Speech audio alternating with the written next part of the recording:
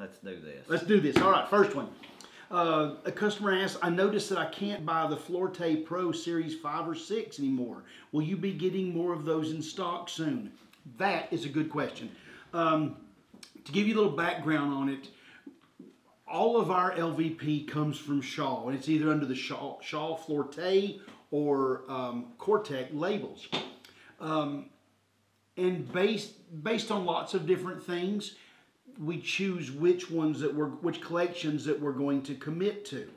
Um, we've we do have a little bit of the Series Six on order right now. We're waiting on it to come in. We haven't ordered any Series Five, and I like the Series Five. I like it a lot.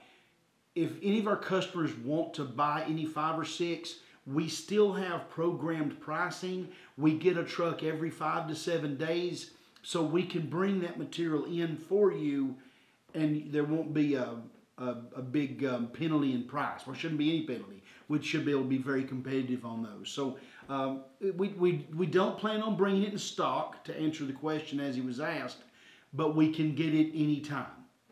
Very good.